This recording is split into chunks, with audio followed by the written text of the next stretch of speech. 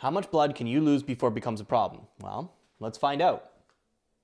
Okay, so I have 10 glasses here, and each glass is representing 10% of blood volume. So get, for reference, when you give blood, you give about 10% of your blood volume. Now you might feel some lightheadedness, uh, some anxiety, maybe even increased respiratory rate for a short amount of time in order to compensate for that, but truly our body can manage a 10% blood loss relatively well. But however, once we start to cross the threshold of about 20%, especially 30%, that's when our body starts to recognize it, especially when we lose it fast. So our respiratory rate's gonna increase, our heart rate's going to increase, and we're going to start to go into a compensatory hemorrhagic or hypovolemic shock, which is going to be something that we're going to want to deal with. However, once we start to cross the threshold of 40% to 50%, this patient is now in a life-threatening state that may end up going into cardiac arrest because of how much blood loss they have, especially if they lost it in a very rapid state. So that's why it's so important to try and stop the bleed before we get across this threshold of 40%. That way we're going to limit the chances of this patient deteriorating further.